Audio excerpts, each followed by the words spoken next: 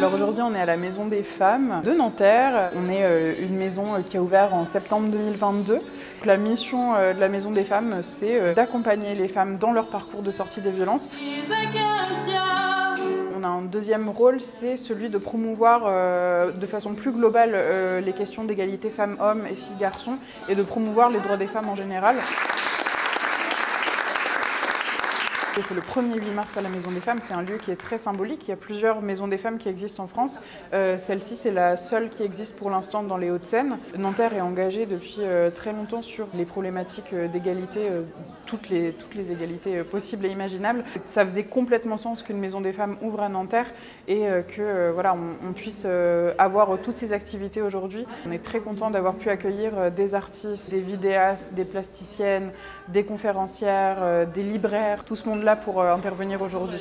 Le thème qu'on a, choisi pour, euh, ce 8 mars, c'est euh, le thème des femmes et de la culture, la place des femmes dans la culture en France et dans le monde. Mais voilà, on a voulu montrer que les femmes existent sur la scène culturelle, tant sur le territoire ultra-local à Nanterre, parce qu'on a plein d'associations qui travaillent pour la culture à Nanterre et, qui sont composées à 100% de femmes, et c'est très important de les visibiliser parce qu'elles ne le sont pas assez, mais aussi de revisibiliser des femmes qui ont été très importantes dans l'histoire, qui ont été oubliées ou, euh, ou carrément euh, invisibilisées volontairement. C'est pour ça qu'on a une exposition sur euh, le matrimoine, tout notre héritage féminin et féministe qu'on peut avoir avec des femmes scientifiques, des femmes autrices, journalistes, etc. depuis le début de l'humanité. J'ai interprété Minotaure de Hélène Bréchamp, qui est une compositrice actuelle. Donc ça parle de la, fin, du mythe du Minotaure, qui se retrouve enfermé dans son labyrinthe et qui ensuite va essayer de se débattre et qui va finir par agoniser. Mais sinon, on joue très très peu de pièces écrites par des femmes, et c'est assez dommage d'ailleurs, puisque elles écrivent tout aussi bien que les hommes. Et on a voulu montrer que les femmes aussi avaient des talents, des compétences, tout autant que les hommes, et qu'il fallait plus les mettre en avant, et qu'on les a beaucoup plus écoutées eux dans l'histoire que nous. Et donc maintenant, c'est à nous d'avoir la place et de nous écouter. Aujourd'hui, c'est la journée du 8 mars et euh, l'UNSS du 92 a permis à plus de 200 jeunes filles de venir nager et de faire 2024 plongeons.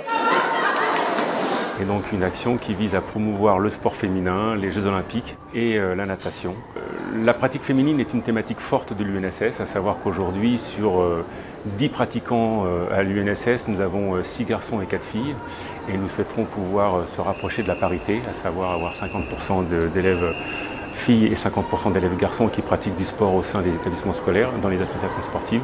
Et donc faire une action de promotion autour de la pratique féminine était quelque chose d'important pour nous.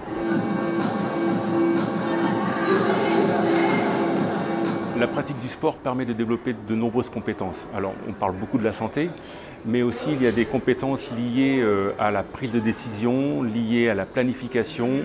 Toutes ces compétences-là, elles sont, elles sont acquises pour le futur et, euh, et elles peuvent être mises en place dans le cadre scolaire et professionnel.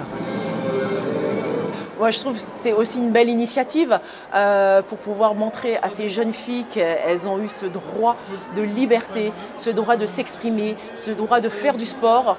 Et ça, c'est fantastique de se dire que ce droit n'est pas forcément donné partout, dans tous les pays, et montrer que ben, ces filles, elles peuvent se battre pour les prochaines qui arrivent juste après elles.